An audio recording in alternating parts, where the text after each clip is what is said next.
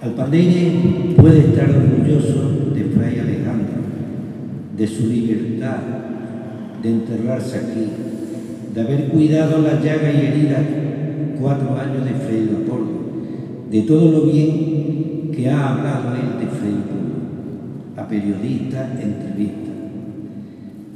Tenemos un nuevo santo. Dice el Evangelio, lo que hicierais con uno de los míos conmigo lo hacéis. Y él tuvo que cuidarle las llagas a Fray Leopoldo y está 24 horas. Tiene motivo ya justificado. Es evidente que las personas somos mucho más que la materia que da forma a nuestro cuerpo. Somos espíritu, somos alma, y eso que somos lo transmitimos a través de nuestra presencia, nuestro caminar en la vida.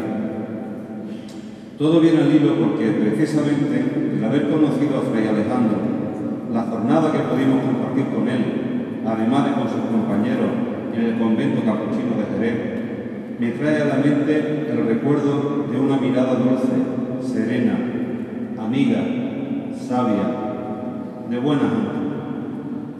Una de las veces que fui tenía un palomar en lo alto del convento, en la, terraza del convento, y me dijo María Dolores, te voy a regalar dos palomas, una macho y una hembra. Te las llevas para el bandeire, las la cuidas, las crías y todas las palomas que salgan, me gustaría que las pusiera en la ermita, hacer un palomar en la ermita para que estuvieran esas palomas. Efectivamente, así nos traemos las palomas, las tengo en mi campo y tenemos ya veintitantas palomas, 24, 25 palomas, las estamos criando ahí y reservándolas para cuando la ermita se haga, ponerlas en la ermita, en el palomar, en su otro fray Leopoldo, dos almas gemenas que por algo se conocieron y convivieron.